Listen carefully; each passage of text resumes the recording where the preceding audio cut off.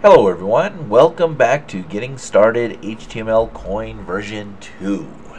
Today we're going to talk about sending and receiving HTML coin.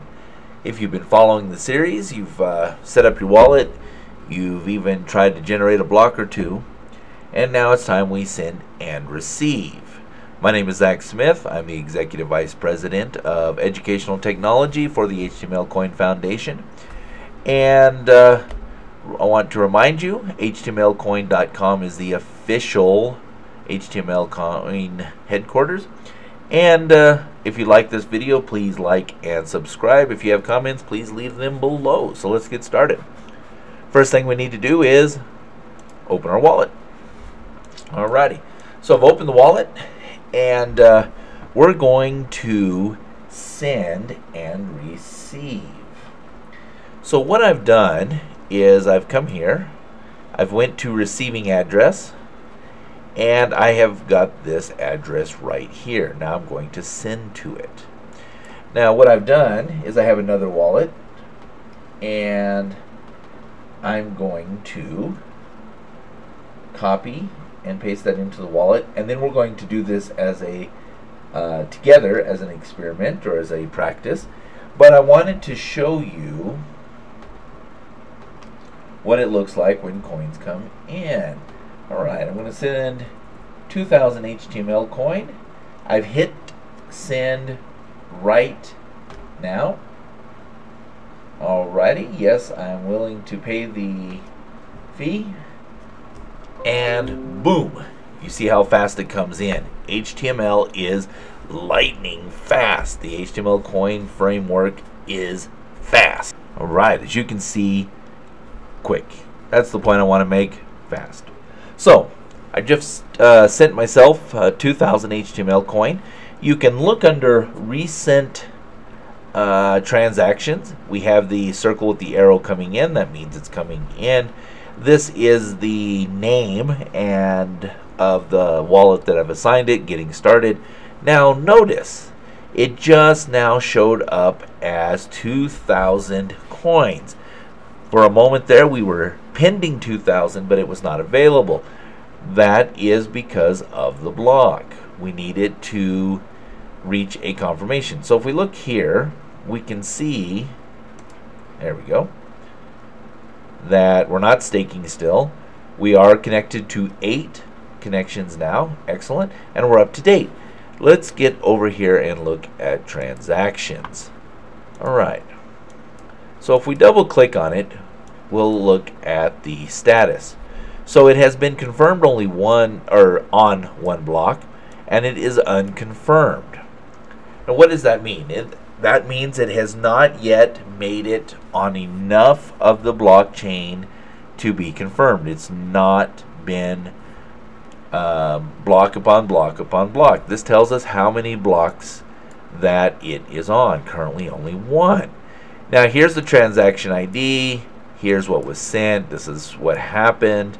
Uh, this is to here. This is our label, and from is unknown. Part of the the secure kind of uh, um, designation. All right, so let's close that for a second. Notice the time we, it's received, and we also have this pie shape thing over here. Now, it says confirming 3 of 10 recommended confirmations. So in this case, it has been confirmed three times. Once it hits 10, that's the recommended allow time, or the, uh, the number of blocks that have been confirmed, then it's generally considered to be confirmed. All right, so let's come back over here. We can look at, oops, we want to come here. So when we look at our receiving addresses, notice we have the two. You can create new ones. You can also copy there and you can export that information. All right, so let's continue looking at this block. We'll double click it again. Notice now it has six confirmations. It no longer says unconfirmed. It is now confirmed, although the recommended practice is to allow for 10 just to ensure no problems. So we can look here. Notice the pie shape is slowly filling in. And here in a moment, it will fill in even further. All right, it's almost circular. We can look at it one more time there. If we highlight over it, 7 of 10.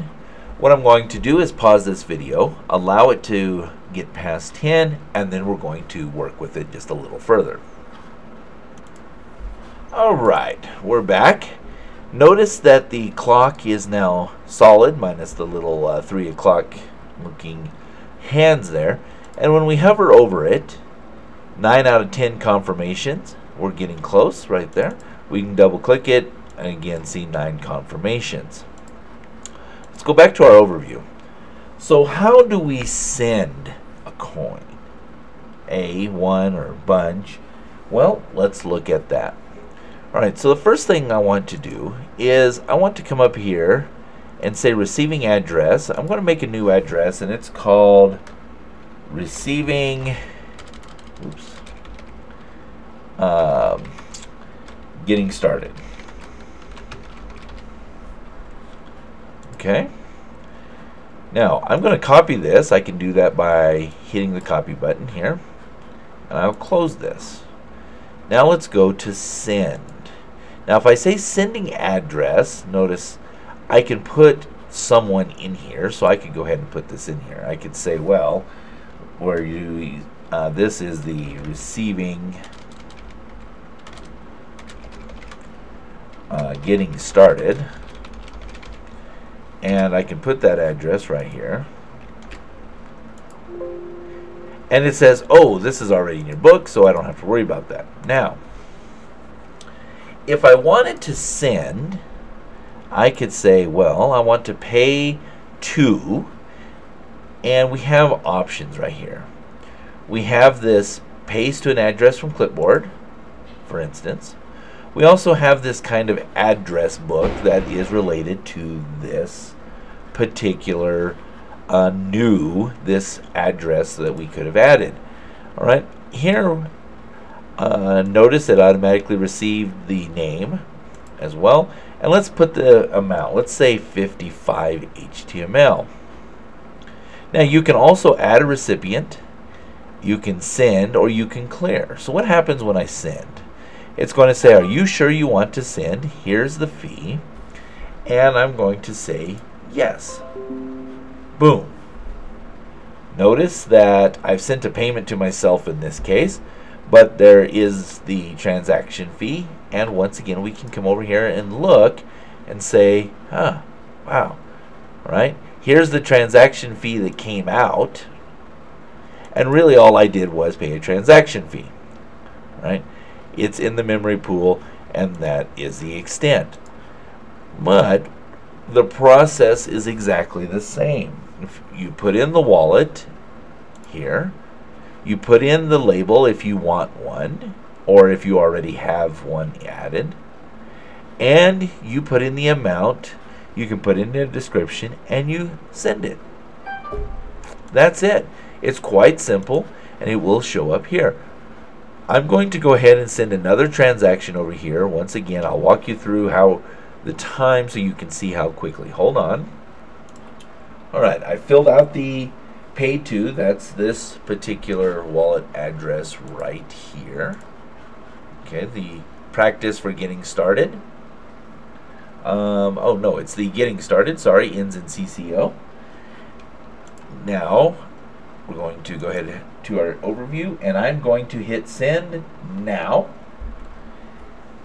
I will confirm yes and boom, it's on its way. There it is. I just sent 110. Once again, we can see it on the overview, the recent transactions, and under the transactions showing up here. Notice 110. Notice the question mark. It's unconfirmed. It hasn't even made it yet. That's why it's not showing up here. It's just pending. In a moment, it will then add the 110 to our available. So we'll have this amount. once it shows a confirmation. Currently, zero. It's in the memory pool. Notice the change. We received the clock. Now if I go back, there's one. It's unconfirmed.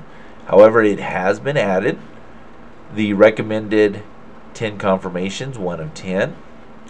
And when we look at the overview, now we can see that it has been added. Notice this back and forth. That says I sent something and received it, but really all that happens was I paid the fee.